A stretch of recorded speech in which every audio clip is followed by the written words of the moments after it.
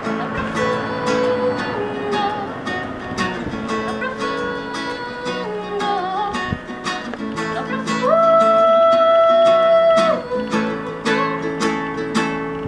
Debemos diferenciar entre águilas y anguilas, a ver si nos toca soñar